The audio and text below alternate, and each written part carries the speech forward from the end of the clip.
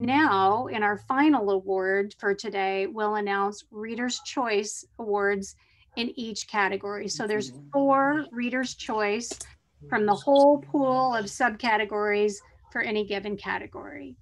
The way this worked is that unlike the blind judging process, you, the readers, were the judges.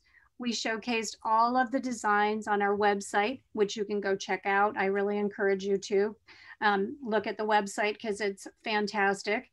Um, and readers voted. The awards in this category are strictly based on whoever had the most likes by readers. Christine, tell us who the awards go to. Gladly, Susanna. The Reader's Choice Awards go to the exteriors category goes to Kimberly Development for this stunning patio and porch. Gorgeous. We saw that before. Amazing.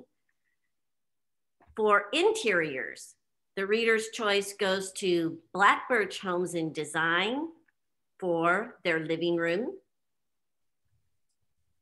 For details, the award goes to Kimberly Development's entry in millwork. Beautiful, look at that staircase. And for homes, Roland Construction Company is the reader's choice for their entry in contemporary architecture. Congratulations to all.